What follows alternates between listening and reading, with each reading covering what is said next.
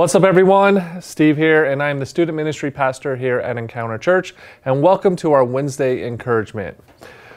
First, I want to thank you for joining us, and what I'm going to talk about today is the, three scriptures that helped me overcome the orphan mindset.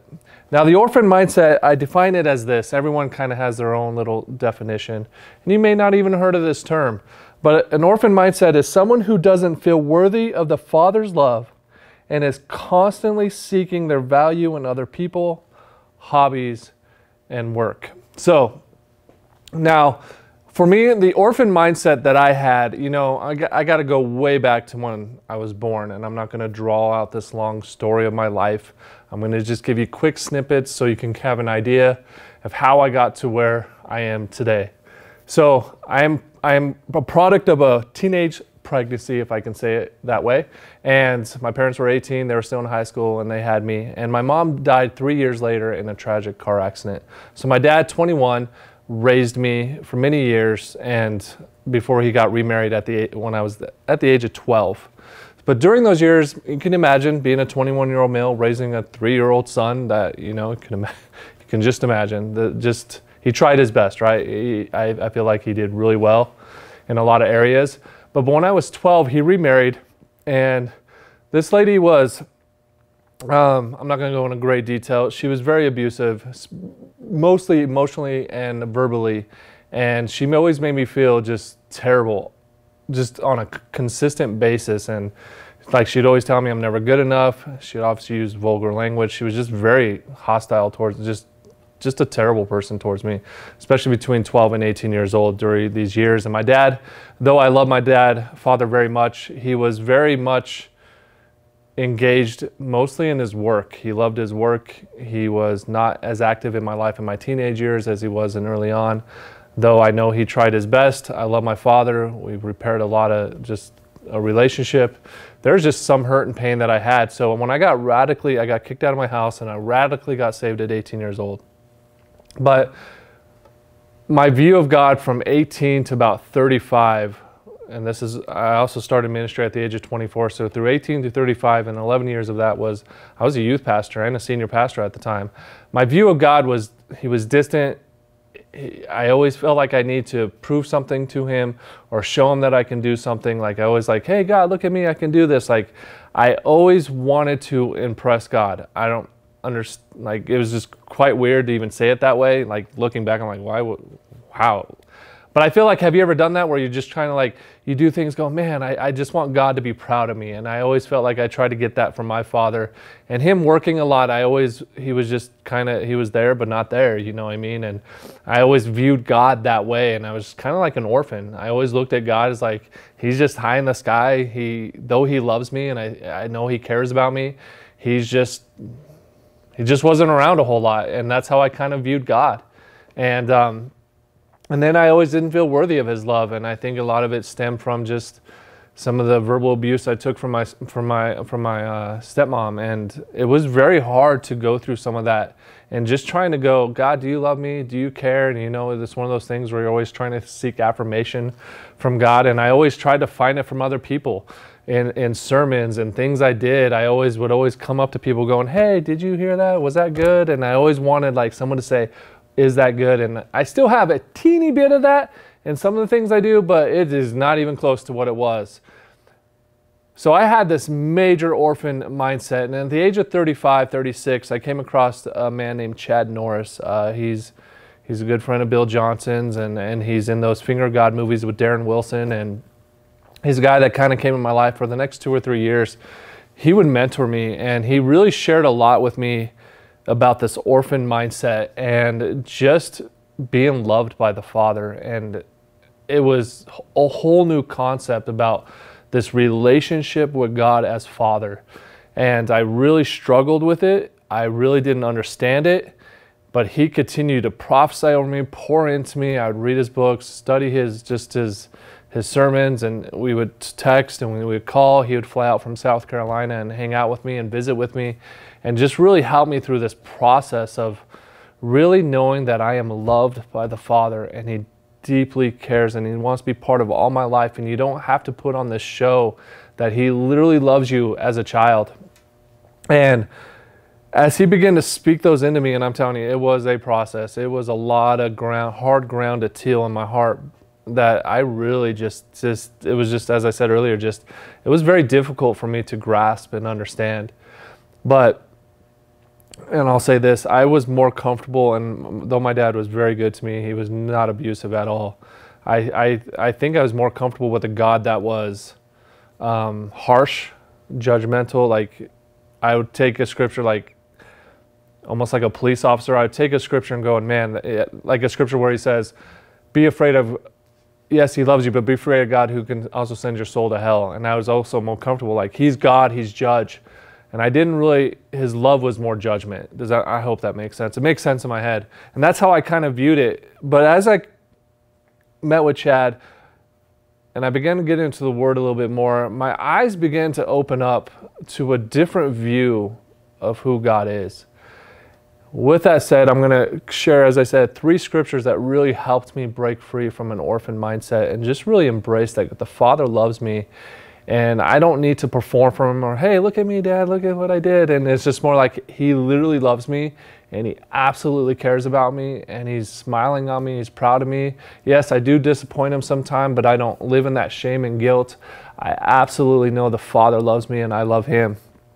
So the first one is found in 2 Samuel chapter 9. I'm not going to read the whole passage, the whole chapter, but it's one of my favorites. And it's the story of David showing kindness to Mephibosheth. Now, I'm going to, I butcher that name sometimes, so do not comment below saying how to pronounce it or come to me in church and say, this is how you pronounce it. But it's Mephibosheth to me.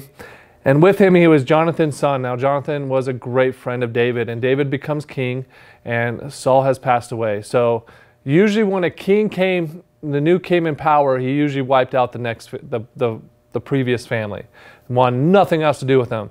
But David cha- like had this pact and this covenant with Jonathan, like I'm going to show kindness to Jonathan's family. So there was a son still alive. His name was Mephibosheth. He lived in um, Lodibar, which is the land of desolation. He was dropped as a kid. He was crippled, and he had an orphan mindset. So David comes on the scene and, and goes, hey, and goes to a guy named Ziba, like, is there someone still around? He goes, yes, Mephibosheth. And he comes in contact with Mephibosheth, and it says this. As David shows up, he says, Greetings, Mephibosheth. And Mephibosheth replied, I am your servant. And this is verse 6. And verse 7 says this David says, Don't be afraid. I intend to show kindness to you because you, of, your, of my promise to your father Jonathan.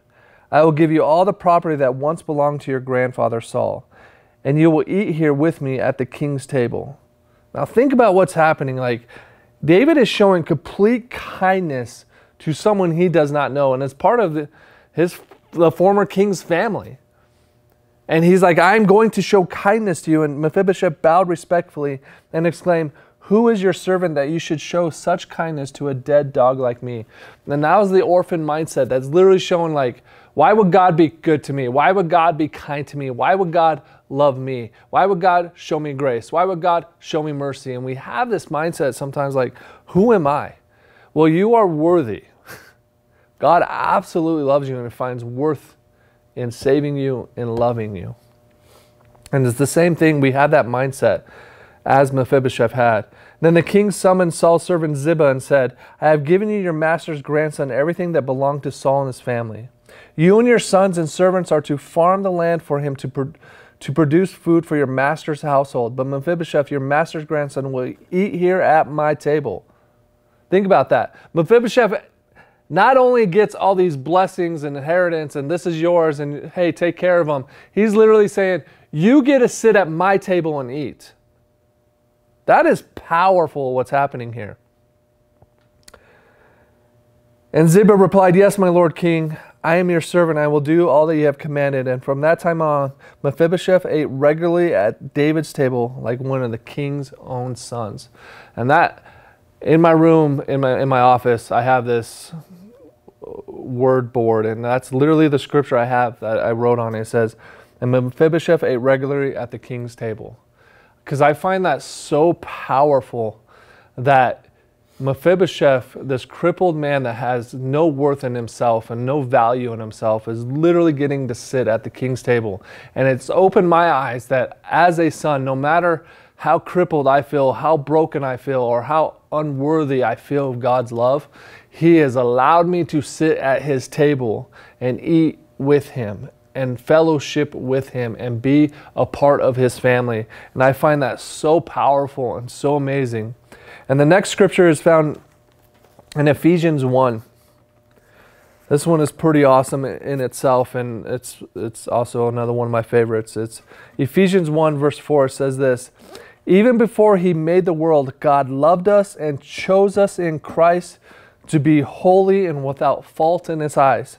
Think about this. Even before the world was created, God chose us. Think about it. Before he made anything, he chose us and loved us. In verse 5, it says, God decided in advance to adopt us into his own family by bringing us to himself through Jesus Christ. And this is my favorite part. This is what he wanted to do, and it gave him great pleasure. I find that absolutely astounding. I, I remember in my late 30s, look like I used to, I've read this scripture a billion times from the age of 18 to 36, 37, 35 years old.